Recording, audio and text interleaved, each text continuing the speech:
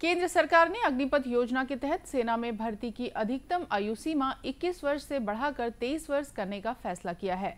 रक्षा मंत्री राजनाथ सिंह ने कहा है कि पिछले दो वर्षों में बहुत से युवाओं को सेना में शामिल होने का मौका नहीं मिल सका है।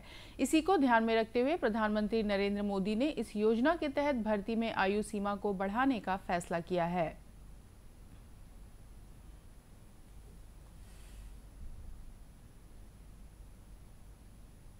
केंद्र सरकार द्वारा घोषित की गई अग्निपथ योजना भारत के नौजवानों को देश की रक्षा व्यवस्था से जुड़ने और देश की सेवा करने का एक सुनहरा अवसर देता है।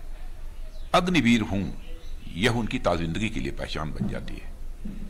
पिछले दो साल से सेना में भर्ती की प्रक्रिया न होने के कारण बहुत से नौजवानों को सेना में भर्ती होने का अवसर नहीं मिल, मिला।